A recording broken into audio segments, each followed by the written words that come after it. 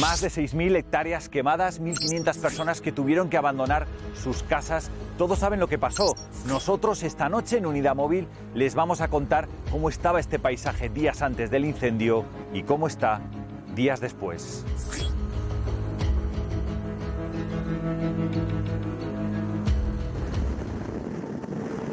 Este es el terreno desolador que ha dejado el fuego a su paso por el entorno del Parque Natural de Moncayo. Esto es penoso. Nos rodea un manto negro.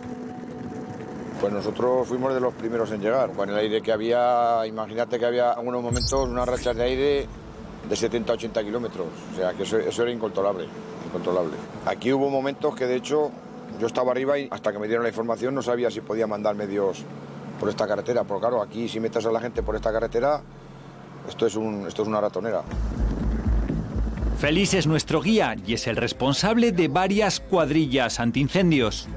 Todo eso puede volver a quemarse. Encima con este año que tenemos tan malo de temperaturas y de sequía, cuesta mucho acabarse de quemar. Está, está el suelo todavía como caliente. Sabe mucho lo que es un fuego y también conoce muy bien el Moncayo. Viene viento de cierzo en esta zona hacia, hacia el oeste. Creo que pueden llegar hasta de 40 kilómetros hora hoy, me ha dicho. Eso es malo. Lo bueno que tiene cuando es cierzo, pues que es un aire más fresco. La noche suele subir la humedad relativa. Madre mía. En este encinar, eh, es un encinar tan, tan frondoso que se produce eh, sombra por debajo y la temperatura cambia y entonces le cuesta arder. Si ya habéis ardido, pues eh, un poco a, a capricho del viento. Esto que vemos ahora, Félix, por tu experiencia, ¿cuánto tiempo puede tardar en recuperarse? Bueno, esto, a ver, eh, pues en, en 20 años tienes otra vez las carrascas. No la vas a tener así, pero vamos, la, la carrasca precisamente es que brota y, y es mejor, a lo mejor que otras especies. 20 años. Sí, pero vamos, es una pena porque, porque este carrascar encima es un, es un lis que tenemos aquí en, en el área. La prioridad siempre ha sido salvar vidas. Los incendios, el monte se quema y el monte se quema, pero lo que ha sido en este incendio muy doloroso es el tener que estar, hemos, hemos tenido que estar allí priorizando la, la población y atender a las personas y la verdad.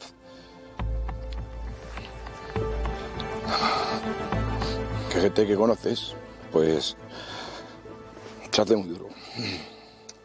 Vale. Vamos a bajar ahora a limpiar aquello.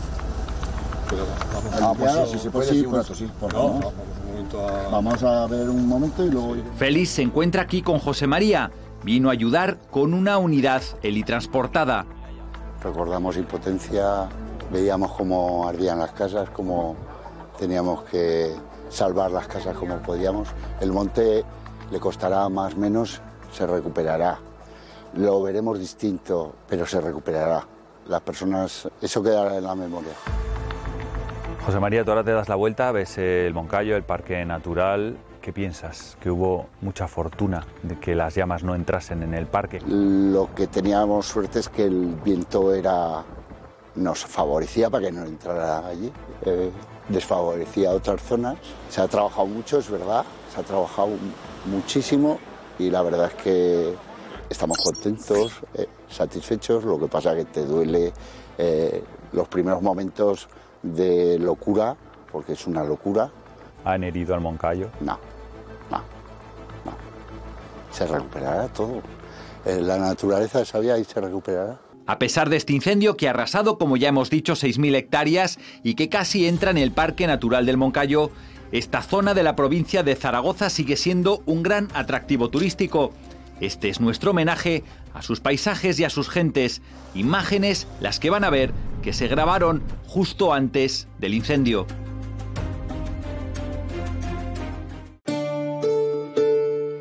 El Moncayo y su entorno están repletos de historias de brujas y leyendas. El origen de su propio nombre, el de Moncayo, podría tener que ver con una de ellas.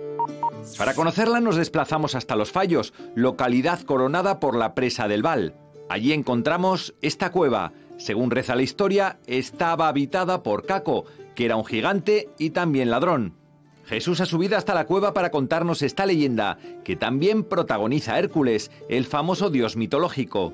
Cuenta la leyenda que Hércules era un ganadero de la vecina Tarazona que pastaba por aquí. Eh, Caco eh, le robaba el ganado y lo traía a esta cueva. Uno de, los días que Hércules estaba con su ganado pastando por, por aquí, se dio cuenta de que un ternerillo que tenía Caco en la cueva de los que le había robado bramó al reconocer a su madre. Entonces, evidentemente, Hércules se dio cuenta de que, de que quién era el ladrón de, de ganado. Tuvieron una gran lucha una lucha muy encarnizada y ya pues como eran gigantes y todo esto pues empezaron a formarse los ríos con la sangre, a crecer los valles, etcétera, etcétera. Y Hércules mató a Caco. Entonces, a la hora de enterrarlo, pues empezó a poner piedra sobre piedra, lo que formó Moncayo en sí. De Mont Caco, Monte de Cayo, que después ha ido degenerando ya hasta Moncayo. Y así es el origen de, la montaña más mágica de esta zona. Las llamas afectaron a 6.000 hectáreas y como ven estuvieron a punto de entrar en el parque natural, que tiene una extensión de 11.144 hectáreas. El fuego tampoco llegó a afectar a la estructura del monasterio de Veruela. Esta zona engloba nueve pueblos de la provincia de Zaragoza, de los cuales Añón, Alcalá y Vera del Moncayo, El Buste, Bulbuente, Ambel y Trasmoz fueron desalojados durante el incendio. El fuego afectó a ocho municipios. Los vecinos de pueblos como este, Añón del Moncayo, eran la prioridad. La otra, el Parque Natural. Nosotros lo visitamos unos días antes. Vamos a visitar el lugar más alto del Parque Natural del Moncayo, la montaña que le da nombre. En el centro de Agramonte nos esperan la técnico y el forestal que van a acompañarnos hoy.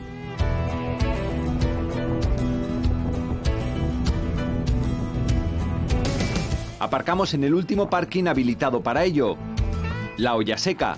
A partir de aquí hay que seguir andando. Nos quedan casi dos horas para llegar a la cumbre.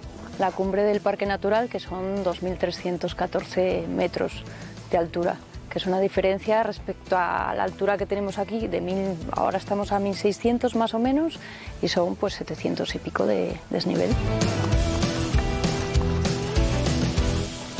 Parque Natural del Moncayo tiene varias singularidades. Es un espacio protegido de más de 11.000 hectáreas. Aparte de que es el punto más alto del sistema ibérico, es una isla de vegetación porque es el límite entre el clima mediterráneo y el clima atlántico. Tenemos casi 1.400 especies de flora, que significa más o menos el 20% de todas las especies de flora que hay en la península ibérica. En la zona sur tiene superficie más caliza.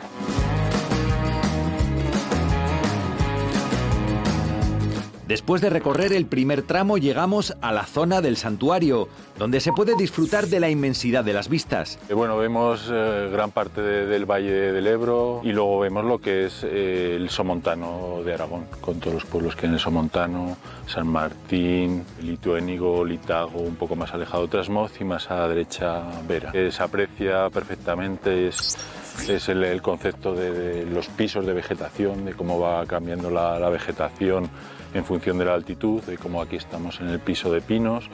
Más abajo se diferencian un verde más claro las hayas, un verde más ceniciento los robles.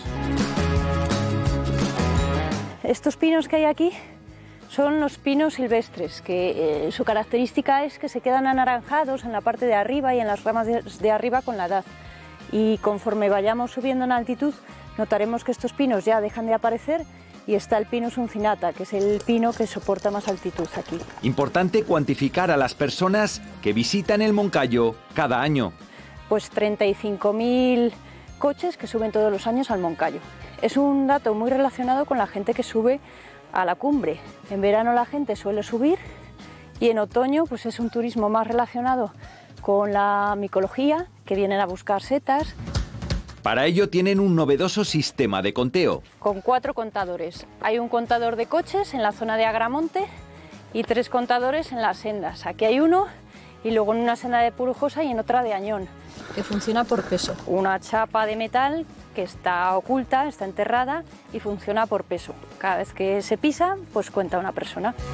Aunque no es una máquina infalible, ya que no distingue entre animales o personas. En Purujosa tuvimos un problema porque había, estaba al lado de una higuera y había un montón de cabras que iban a comer a la higuera por la noche y nos hacía unos conteos de 3.000 personas en una noche en un contador que normalmente pues pues no sube de 3.000 en todo el año. Queremos conocer más de nuestros guías de hoy. Queremos saber cómo han acabado un forestal de Soria y un técnico de Valladolid en el Moncayo. Y llevo aquí cuatro años. Ya conocía el Moncayo, ya lo había subido alguna vez y ahora tengo la suerte de pues, ser la técnico que lo gestiona y es un lujo porque es, un, es la joya de la corona de los montes de Zaragoza. Enamorado del Moncayo, de la montaña o de, de los bosques. Curiosamente siempre he estado en zonas que el Moncayo era el referente para ver amanecer. Se ven un- unos farallones rocosos que son los conglomerados de- del río Keiles, de los fallos. En el Moncayo digamos que hay bastantes rapaces eh, forestales que anidan en los árboles, las cuales son difíciles de ver porque como siempre vas por el bosque y ellos están volando por encima, En este cartel se cuenta un poco el mantenimiento de estos senderos. Una cuadrilla que cada dos años más o menos pues hace las labores de mantenimiento, de cerrar sendas viciosas, siempre teniendo en cuenta los problemas de erosión. En este plano se ve muy bien donde señala donde hay sendas viciosas. Aunque mucha gente no entiende, estos cortes en el camino la gente somos así. Y cada vez Claro. tenemos que poner el, muro un poco más alto porque la gente lo salta. El origen de esta senda es muy curioso porque es de 1860 que hubo un eclipse solar total y los eh, astrónomos más reputados de Europa decidieron que este era el mejor sitio para verlo. Entonces construyeron esta senda de acceso a la cumbre y eh, el problema es que el día que fue el eclipse pues estaba nublado. Un trabajo muy costoso para abrir en la montaña 3 kilómetros de senda. Sí, sí, en su momento pues eh, eran varios kilómetros y con piedra y en un sitio donde no había antes ninguna senda. Hay unos medidores de luminiscencia, de brillo, que dicen que esta zona, la zona del Moncayo mirando hacia Soria, tiene mejores valores de luminiscencia para ver estrellas que eh, el astronómico de Las Palmas, por ejemplo. Una de las gestiones importantes del parque es la prevención de incendios. Trabajos previos para evitar el fuego. Existen dos cuadrillas que en verano están en modo extinción, pero en invierno hacen labores helvícolas. Pequeños trabajos para evitar que haya más o, o que los incendios sean más fuertes en verano. Una vez que el incendio eh, se ha iniciado, eh, es muy difícil extinguirlo. Entonces, o lo extingues en el primer momento en unas masas o en unas zonas que, que pueden ser las más peligrosas y las tienes ya preparadas, o cuando llega a determinadas zonas, ahí tienes facultades para, para extinguirlo, controlarlo o reducir sus dimensiones. Siempre se dice que un bosque limpio es fundamental, pero parece que a los expertos no les gusta el término limpio. E- Eso de la limpieza, Claro. digamos, e- es un vocablo que, le- que lo traemos de, de- de- de- de nuestra vida cotidiana. ¿no? Eh, cuando hablamos de, gestión forestal o de árboles, eh, primero, la limpieza del bosque eh, tiene una, por definición, tiene una serie de estratos, el arbóreo, el arbustivo, el herbáceo. Le dirás, no, es que está sucio porque esa vegetación no le corresponde, hay algo anómalo, dices, no, es que es su proceso natural. Otra cosa también es la limpieza, que la gente cuando se le habla de limpieza, lo que piensa es que todos los montes o todos los bosques tienen que tener los árboles con un pastizal, esa estética de parque, de- de jardín. Eso es imposible.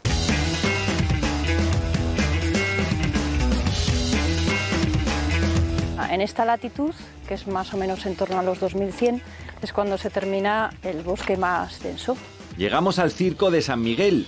Su aspecto es muy diferente en invierno. Eh, Está cubierta de nieve, depende de los años como venga, está tres meses cubierta o la nieve solo queda en pequeños neveros en la cumbre que luego se vuelven a completar de nieve. También en los meses invernales es donde hay más peligro.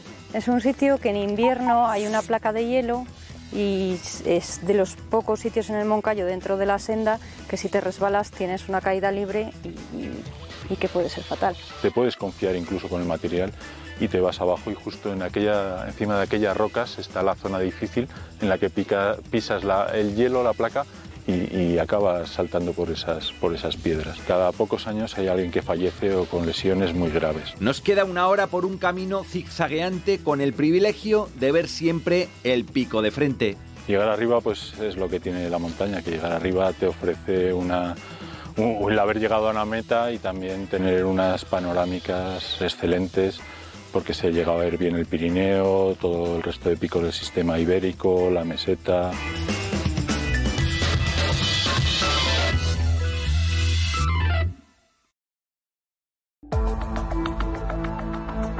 En Añón de Moncayo, la zona cero del incendio, se encuentra la hospedería que regenta Curro Fatás, un castillo medieval, historia viva de la zona. Esto nos decía tras el incendio. Ya hemos vuelto al pueblo, el castillo está en perfectas condiciones. Es una pena ver desde el monasterio de Veruela hasta Añón cómo está todo calcinado, negro. Se te cae un poco la de los pies, pero afortunadamente el incendio está controlado aunque no está extinguido todavía, y el parque natural no, no, se ha visto afectado, o sea que eso es una buena noticia dentro de todo. Por supuesto, pues imagínate cancelaciones, cancelaciones, cancelaciones, en fin, un poco de ruina, pero bueno, saldremos adelante como hemos salido otras veces. A pesar de todo, esta hospedería que van a ver y que grabamos antes del incendio, pronto volverá a recuperar sus clientes.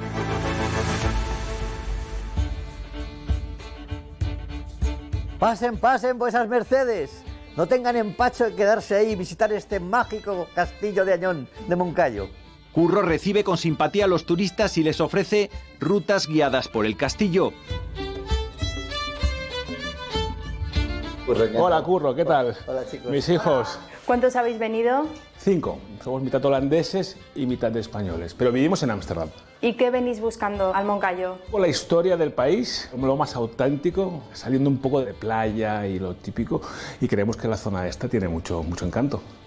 Dejamos que esta familia se acomode y preguntamos sobre lo que vienen buscando hasta aquí. Aquí lo que busca el turista es la singularidad de, este monumento, que es un castillo del siglo XIII, instalaciones modernas, en un parque natural como es el Parque Natural del Moncayo, entonces buscan paz, tranquilidad y buenos alimentos. Hemos tenido, por ejemplo, en este mes gente desde China, Estados Unidos, Canadá, Dinamarca, Holanda, Alemania, Francia y también mucho español, claro. Vienen también a, como me dijo una señora el otro día, ay, es que esto es como viajar en el tiempo. Esa experiencia de viajar en el tiempo y conocer la historia del lugar es otro aliciente. Este es Sigfrido, que es el dragón oficial del castillo de Añón. Yo soy el nuevo comendador del castillo. Yo os nombro caballeros a este equipo tan majo de unidad móvil y nomine Patris et Filii et Spiritus Santi. Amén. En este peculiar lugar, los turistas pueden escuchar la historia de Añón y saber quiénes fueron sus fundadores. Los caballeros de la Orden de Malta. En el siglo XIII vienen aquí para construir este castillo para defender la frontera del Reino de Aragón frente al Reino de Castilla. Y se quedaron cinco siglos porque había una mina muy productiva de hierro abajo en el río. El turismo histórico y cultural tiene más recorrido. Un referente mm, tanto desde el punto de vista de la cultura popular como también monumental, que es Trasmoz. Se ha vuelto a abrir el castillo eh, medieval que lo restauró el inventor de la fregona, Manuel Jalón, y tiene un pequeño museíto que una parte cuenta la historia del castillo y tiene también una exposición de, sobre la brujería, sobre los procesos de la Inquisición, muy chulo. Muchos repiten a lo largo del año para disfrutar de los distintos paisajes. Tenéis unas vistas increíbles, 360 grados. Cambia mucho el paisaje en función de las estaciones. El paisaje del Moncayo es como un calidoscopio. En, otoño es increíble porque con los hayedos y las diferentes especies de, de árboles y plantas pues tienes los verdes, los naranjas, luego los fucsias. Y lo que hemos visto por la carretera es muchísimos deportistas. Y bueno, de hecho aquí en Nañón se hacen varias eh, pruebas de estas extremes. Y bueno, pues cada vez ves más, más, ciclistas, más runners, más, más gente haciendo, haciendo deporte. ¿Qué tipo de profesiones tienen los turistas que se acercan hasta aquí? Es, es muy variopinto. Ornitólogos, biólogos, porque la biodiversidad que hay en el Moncayo, hay más de 2.000 clases de setas en el Moncayo, de hongos. Como suelo decir yo, eh, remedando el refranero, más tiran dos setas que dos carretas. Otro tipo de turistas realizan aquí encuentros temáticos. No vamos a tener un encuentro de, caballeros templarios que van a hacer una vigilia en la iglesia para nombrar nuevos caballeros. Se pegan toda la noche y tal. Hemos tenido masones que han venido y han alquilado todo el castillo y se han pegado dos o tres días haciendo sus propias ceremonias.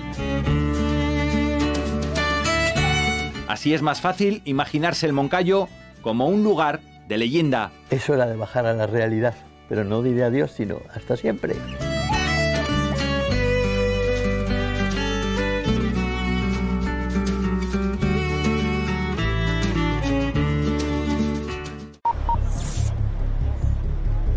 Lo están viendo, las llamas se podían ver desde el monasterio de Veruela.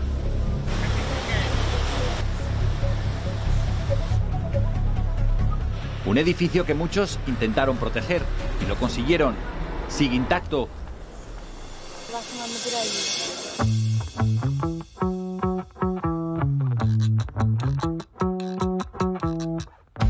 Otro de los edificios emblemáticos de obligada visita es precisamente el monasterio de Veruela. Este bello entorno del Moncayo tiene mucho que ver con la elección de los monjes, con agua abundante y tierras fértiles.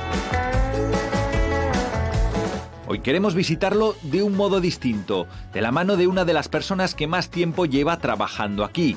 Pilar Velilla ha estado 25 años siendo la guía de este monasterio. Hola, ¿qué tal? Buenas, ¿ya estás preparada? ¿Está todo preparado para la visita de hoy? ¿Todas las reservas ya están a punto? Todavía sin público vamos a descubrir los lugares favoritos de Pilar. Cuando llegó a veces por la mañana o por la tarde si cerramos, entrar a este sitio sin nadie eh, es un privilegio que pocas personas pueden disfrutar. Los compañeros que trabajamos aquí podemos eh, presumir de poder pasear, eh, relajarnos, sentarte un rato a leer en algunos tiempos de descanso en un lugar eh, que ya trajo a artistas importantes como son los hermanos Gustavo Adolfo y Valeriano Becker. Un lugar que, como decíamos, también atrajo a los monjes. Llegan en el siglo XII los monjes de la Orden del Cister y vienen atraídos por los recursos que les aportaba este territorio, por los recursos forestales que aportaba la montaña, por los materiales en piedra que había en esta zona, en concreto en las canteras de Trasmoz, que es un pueblo muy mágico y misterioso que hay aquí cerca, y también por ser un sitio solitario, aislado, en el cual podían desarrollar pues, su función principal y su objetivo, que era la unión con Dios a través de la oración y de la contemplación. Comienza a llegar el público. Además, hoy se ha organizado una visita poco habitual, donde hay que buscar la fauna del monasterio. Qué iglesia, ¿no? Que parece una catedral, que esa es otra. Venga, vamos por aquí. La iglesia es sobrecogedora, en sentido positivo. Cuando entramos a la iglesia, entramos a un lugar magnífico, con unas dimensiones extraordinarias. Hoy, ¿qué hay ahí? Un león, ¿y dónde hay más? ¿Cómo está representado el león? Saltando. está saltando muy bien. Lo que llamamos el león rampante. El escudo del Real Zaragoza, ¿qué es? Tiene un león en medio. Un león rampante. Mira, es que esto es muy. y casi nadie lo conoce. Son las capillas más antiguas de la iglesia. Eh, es una construcción románica y cuando oficiaban los monjes, que casi todos accedían al sacerdocio, podían hacer la ceremonia de la consagración aquí en la mesa del altar. Aquí guardarían eh, pues los ajuares litúrgicos y cuando acababan con la consagración, lo que sobraba de la misma, los restos del vino, etcétera, los desechaban por esta pequeña pila, pues iban directamente a una tierra purificada limpia que está debajo de la iglesia. Los monjes tenían que hacer una misa diaria, por eso había cinco capillas en la girola, donde podían oficiar misa de manera simultánea. Nomine Pater Spiritus Santi. Amén. La acústica que tiene es espectacular y la forma que tiene el claustro es impresionante. Y, la- y el retablo y las columnas hace que se escuche una reverberación impresionante. He sacado foto de cada detalle. Yo podría estar aquí, podría estar todo el día aquí. Seguimos descubriendo secretos. Para acoger los restos mortales de una de las familias más importantes de este territorio, se construye esta pequeña cripta debajo de la zona del presbiterio, cuya peculiaridad más importante es que su techo, su bóveda, está decorado con motivos funerarios, por ejemplo, calaveras, huesos. Era costumbre enterramientos de abades. Aquí tenemos abades de la historia de Veruela en el suelo. Lo estamos pisando, no pasa nada. ¿Qué hay aquí? Otra cabeza del león, ¿vale? Entonces aquí este león representa lo que hemos dicho, ¿no? Fuerza, poder de este abad que llegó a ser cardenal, o sea, dentro de la jerarquía de iglesia. Otro lugar muy importante, por supuesto, es el claustro. El claustro tiene muchos detalles muy curiosos y llamativos y hay un rinconcito en un lado al lado del lavatorio del claustro que también es un sitio muy interesante para, estar un rato descansando y contemplando esa decoración. Lo que vemos aquí es algunas de las gárgola- gárgolas originales del monasterio.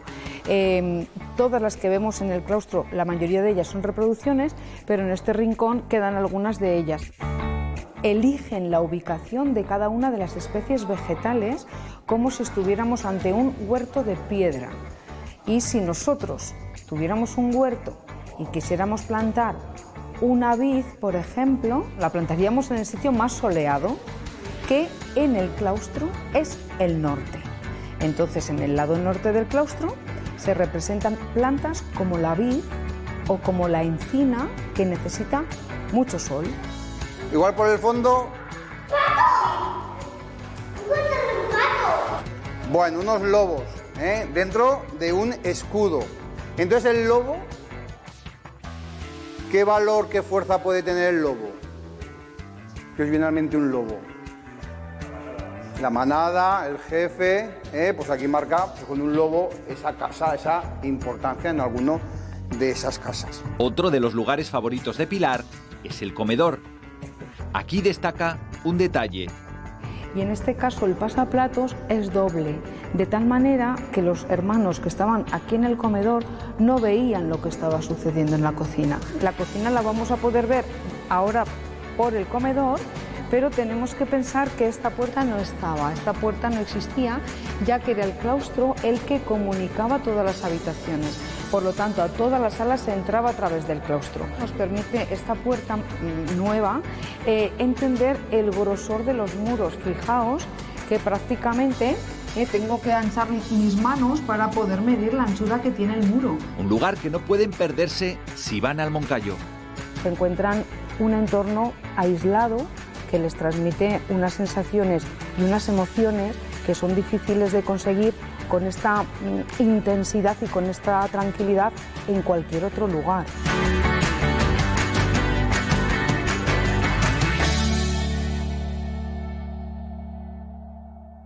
A ver, soy consciente, ¿no? Pero es que ahora tengo una ilusión tremenda por empezar, por hacerlo nuevo, porque es un sitio emblemático, es precioso. Tres, cuatro meses lo que dure hacer esto y empezar de nuevo.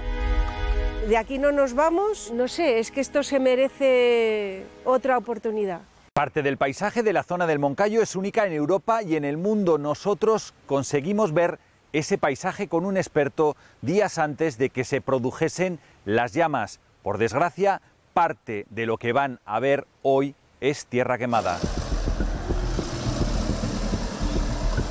El Ayuntamiento de Tarazona organiza rutas guiadas por el Moncayo en vehículos 4x4.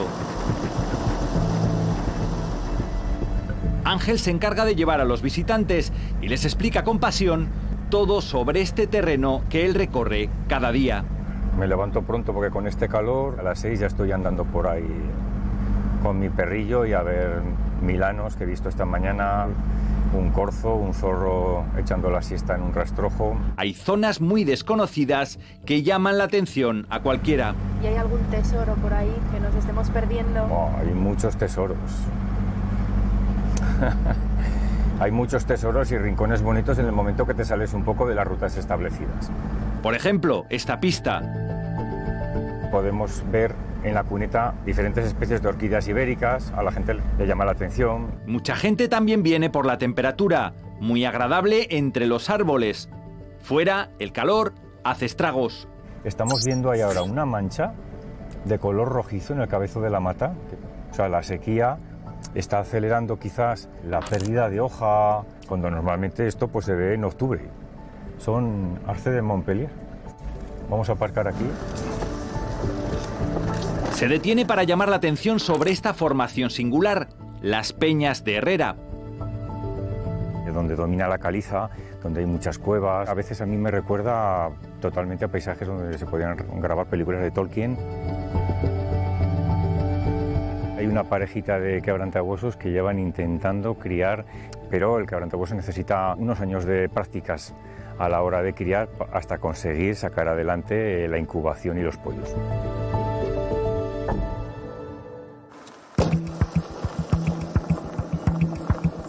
En el siguiente tramo del viaje quiere mostrar un aspecto extraordinario del Moncayo.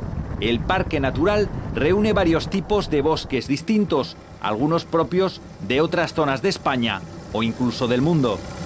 Estamos ahora en el Robledal, el mismo roble que vemos cuando vamos de vacaciones al Parque Nacional Picos de Europa, lo tenemos aquí en, en Moncayo. Mira, en esta curva tenemos un grupito de álamos temblones que son unos árboles muy comunes en Siberia. Ahí hay uno, ahí hay otro. Por tener una madera blanda, se lo pone muy fácil al pájaro carpintero. Los árboles están repletos de nidos de esta especie. Aquí entre robles podemos encontrar algunas coníferas que no son propias de Moncayo. Aquí viene a menudo a rascarse el jabalí. Le practica heridas en la corteza y consigue que sangre una resina que tienen estas ampollitas con una sustancia que se llama limoneno que usa el jabalí para desparasitarse y para quitarse su propio olor. Es el abeto de Douglas. Ángel encuentra abejas trabajando a pesar de ser agosto. Se pueden ver perfectamente unas gotitas pegajosas aquí en la hoja que han segregado las bellotas que están encima. Esta sustancia pegajosa que se llama mielato la recogen las abejas para fabricar la única miel que no es de flores. ¿Cuánto dura la ruta? Depende, pero suele durar de 4 o 5 horas. Depende de la ruta porque tenemos tres. Y es todo así, viendo curiosidades como estas. Sí, viendo botánica, fauna, pero sobre todo vegetación y algo de geología. El camino nos lleva hasta un bosque de abedules, también muy raro para esta zona. Pues es que estamos en un lugar privilegiado porque os recuerdo que estamos en la provincia de Zaragoza y este conjunto de árboles que tenemos aquí, este abedular, es más bien propio de países boreales, en Alaska, en Noruega. Y fijaros estas setas que salen aquí, el yesquero del abedul. Localizamos incluso el rastro de algunos animales. De corzo. Y aquí hay otra muy pequeña, de alguno que ha nacido en esta primavera. Y esa grande de jabalí. Mira qué pluma más caprichosa de un, de un gavilán. ¿Qué otro tipo de fauna podemos encontrarnos por aquí? Pues mira, la jineta, tejón, la garduña. Hemos visto encinar, hemos visto robledal, hemos visto, hemos pasado por el pinar, aunque no hemos hecho mucha mención. Hemos visto el abedular y ahora cuánto hemos recorrido para llegar al ayedo. Los ayedos siempre han incitado a las historias de duendes y de brujas. Porque este bosque con este juego de luces, ¿verdad? Invita mucho a la imaginación. Y fijaros qué sombra proyectan estos ejemplares de haya. Por eso no hay plantas. No hay ni hierba, no, no hay nada. Ni siquiera germinan las semillas del haya. Pero qué bien se está. Pero se está muy bien.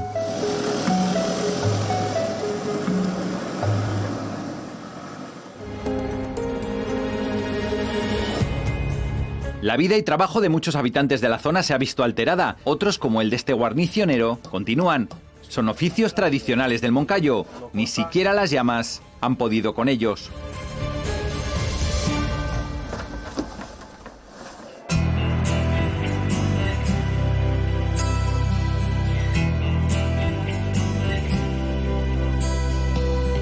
Moncayo es la zona donde más oficios tradicionales quedan todavía vivos. De hecho, en Lituénigo, cada año se celebra una feria de los oficios perdidos. Entre todos ellos queremos conocer uno, el del guarnicionero. Roberto tiene desde hace años su negocio a la entrada de San Martín, en una casa ambientada como en el antiguo oeste. Hola, sí, pues aquí es donde tengo mi taller de guarnicionería, aquí es donde paso mis momentos de trabajo. ¿Qué te aporta el entorno del Moncayo? Pues sobre todo me aporta tranquilidad y en cierto modo libertad para poder estar tranquilo y desarrollar la actividad de guarnicionería.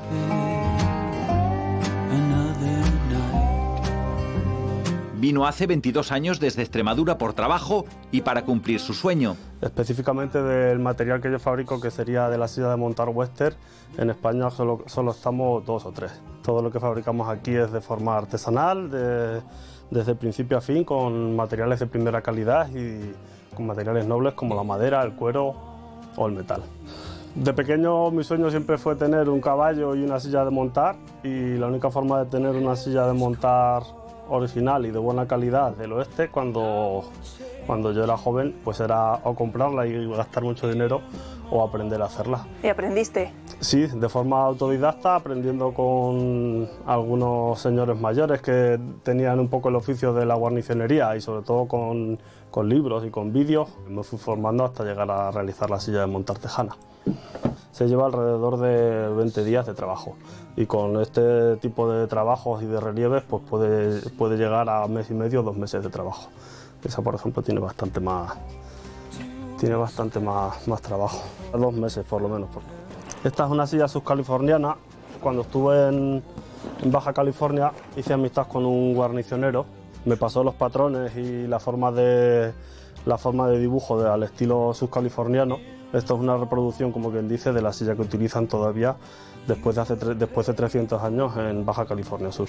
Esta es para mí específicamente para que la gente pueda ver en el mundo del oeste la silla de montar que es como quien dice la abuela de la silla actual del oeste. Y luego la forma de, de adornar pues sería, pues, por ejemplo, este estilo.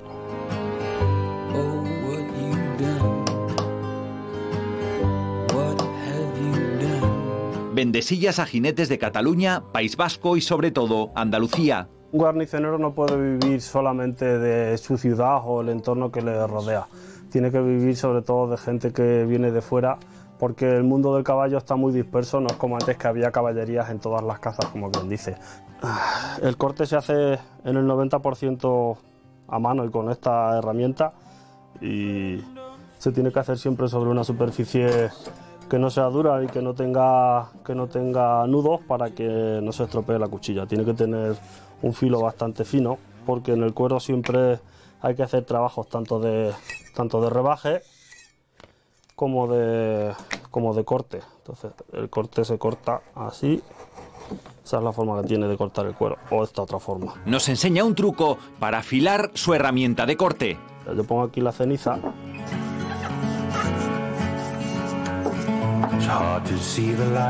y ahora es con lo que asiento el, el filo de la cuchilla. Digamos que borra las huellas que dejaría, borra las rayas que dejaría la piedra de afilar.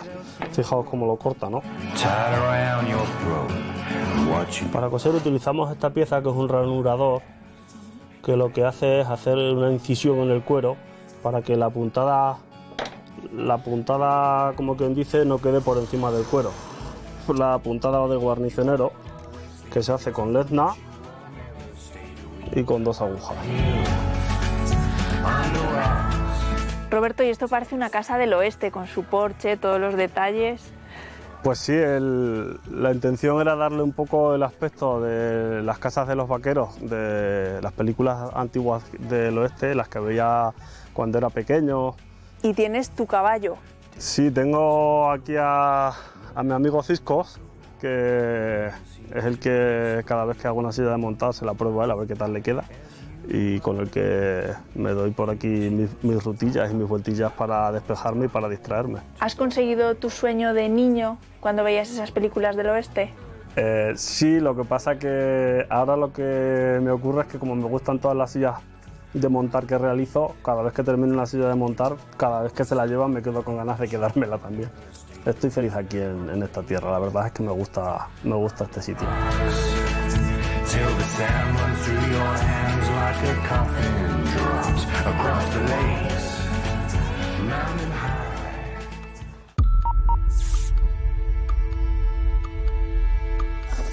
La historia de Rosa se ha convertido en un símbolo de superacción. Al lado del monasterio de Veruela, su negocio, que regentaba desde hace ocho años, fue pasto de las llamas. Te iba a decir que está un poco quemado, pero está, ya lo ves, ¿no? No hay palabras para para expresar esto. Eh, a ver, soy consciente, ¿no? Pero es que ahora tengo una ilusión tremenda por empezar, por hacerlo nuevo, por empezar, por... eh, no sé, es que esto se merece otra oportunidad, porque es un sitio emblemático, es precioso y claro que empezaremos, eh, o sea, tres, cuatro meses, lo que dure hacer esto y empezar de nuevo. Le vamos a cambiar el nombre y le vamos a llamar, ya se me ha olvidado, David, a Fuego Lento, porque creo que es un nombre muy bonito, tiene mucho contenido. No pensé nada y pensé todo. O sea, era un conjunto de que es que estaba el fuego muy lejos, ¿eh? Y justo estaba ya en el buste. Desde mi casa se veía así toda la noche. Que no sé, aún es ahora y no sé qué decir.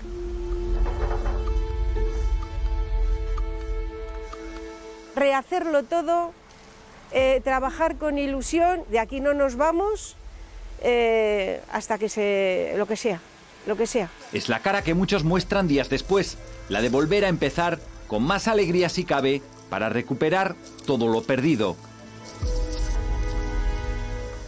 Al igual que este restaurante, estamos convencidos de que esta zona quemada del Moncayo volverá a resurgir dentro de unos años de sus cenizas, que turistas y habitantes de los pueblos de la zona volverán a disfrutar de este paisaje único en todo su esplendor.